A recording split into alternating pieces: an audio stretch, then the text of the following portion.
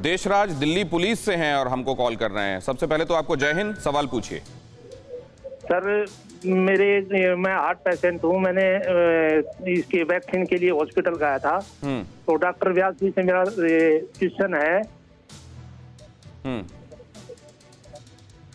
Sir जय Hind. TV का volume कर कम कम करके सवाल पूछिएगा वरना आपको डिलेड रिस्पांस आपका आएगा और हमारे भी उसी तरीके से डिले होता जाएगा। आपने कहा आपको हार्ट का प्रॉब्लम है अब क्या करना है? आपने पहली डोज ले ली है।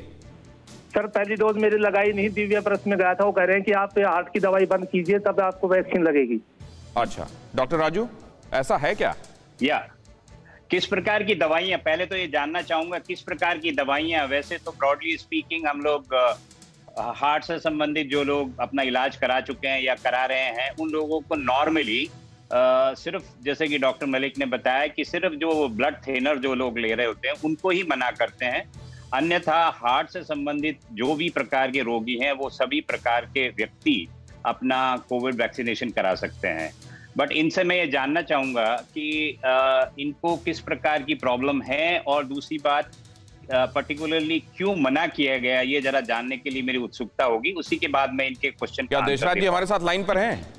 जी सर मैं बता रहा हूँ हाँ। सर मेरे स्टन डले हुए हैं। एक तो रूसवाक ट्वेंटी और डिप्लेट तो ये दोनों बंद करने के लिए बोला गया है। नहीं इन्हीं के साथ आपको वैक्सीनेशन लगाया जा सकता है और उसको दवाइयों को बंद करने की कतई ही ज़रूरत नहीं है। इन्हीं दवाइयों के साथ आप वैक्सीनेट करा सकते हैं खुद को। हमारे अगले कॉलर मुंबई से हैं संदीप क्विकली संदीप विनोद। विनोद सवाल पूछिए जल्दी से। वक्त बेहद कम है अब इस कार्यक्रम में। नमस्कार सर जी। मैं विनोद जैन बोल रहा हूँ मुंबई हाँ, बाइंडर हाँ हाँ हाँ सवाल पूछिए। मेरी वाइफ एक्चुअली डायलिसिस पेशेंट है। हम्म। तो उनका फ़र्स्ट डोज वैक्सीन का लग गया है चौबीस तारीख को। हम्म।